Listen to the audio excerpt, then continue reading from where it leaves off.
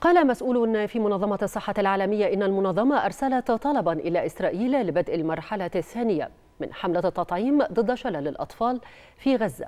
اعتبارا من الرابع عشر من أكتوبر. وكانت الأمم المتحدة قد أعلنت أن الاستعدادات جارية للجولة الثانية من حملة التطعيم ضد شلل الأطفال في غزة. ومن المقرر أن تبدأ في منتصف أكتوبر.